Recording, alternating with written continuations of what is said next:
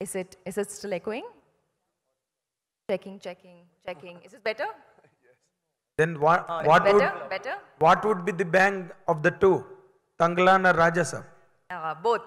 Both. Both. Okay. how, do, how do you prove yourself as an actress or as a commercial stuff?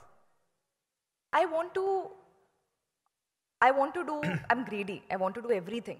I want to do all kinds of roles. Um, I was at a point in my career where uh, I was getting a lot of uh, big hero movies, you know.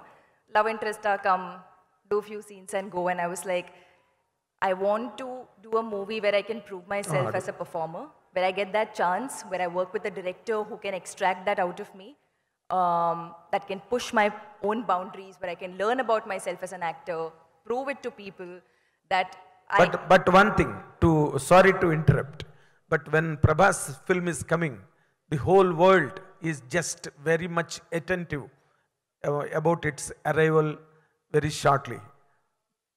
People are expecting it with a thousand eyes. What could be your part in that film, RajaSaab? Oh, I was in the Thangalaan mode. This is a sudden switch in my head now. Whatever you speak about RajaSaab now will ignite all the hope on Thangalaan. That is the trend. yo, yo. He connected both. so much pressure. yes. Um, it's a to get a character like that in a film with Prabhas sir is I'm so grateful to get such a you know fantastic character. So um, uh, it's a different character from Thangalaan, very complete opposite, 180 degree different.